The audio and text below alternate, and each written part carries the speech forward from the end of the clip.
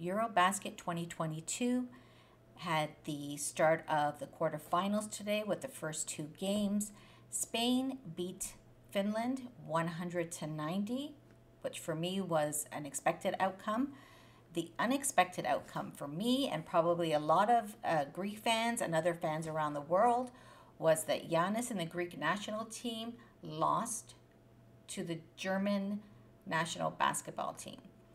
The game was very strange, in my opinion, as Greece was doing very well in the first half and not sure what happened in the third quarter.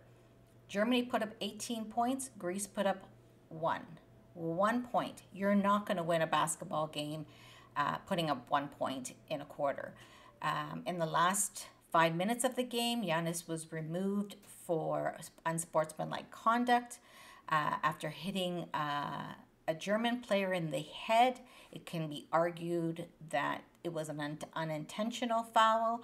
Uh, however, the referees reviewed and felt it was intentional, so he was given unsportsmanlike because he already had one previously. He was removed and ejected from the game. Schroeder from the Germany team was given a technical later on in that quarter and was also removed. Schroeder had an amazing game, and so did his uh, partner Theis from the German team. So I have to give Germany uh, props. They played an excellent game. Greece, very disappointing outcome. Not sure what happened.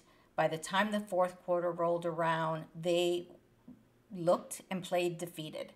So, congratulations to Spain. Congratulations to Germany. Uh, I will see you tomorrow for the next two games and what their outcomes are.